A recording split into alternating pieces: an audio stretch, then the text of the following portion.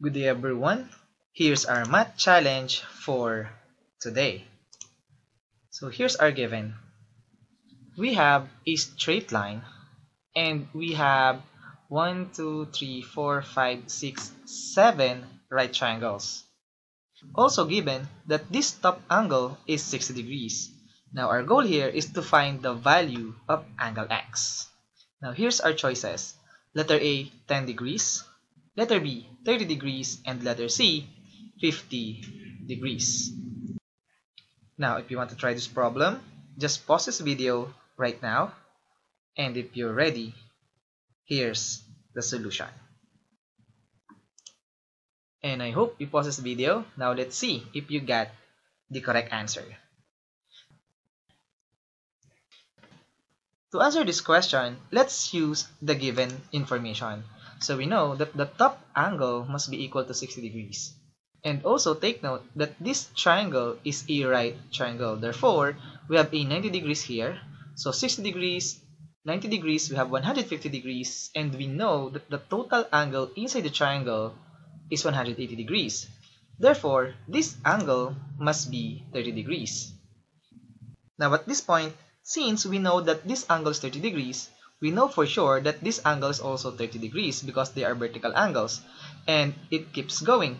We can find the measure of this angle, vertical angles, this angle, vertical angles, and eventually, when you reach this triangle, we know for sure you can find the value of x. But there is an easy way to solve for the value of this angle x. So what we're going to do is to extend these two line segments like this. And we know for sure that this is a right angle. Next, instead of solving the angles of these small right triangles, let's consider this big right triangle.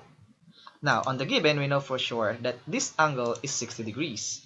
And we have a 90 degrees right here. It follows that this angle right here, represented as x, must be equal to 30 degrees. And we're done. Now, this is an easy question. Now, how about our next challenge? So here's another geometry challenge for you. So first, let's have a broken straight line. So this is a straight line. Next, from the broken part, let's draw these zigzag lines.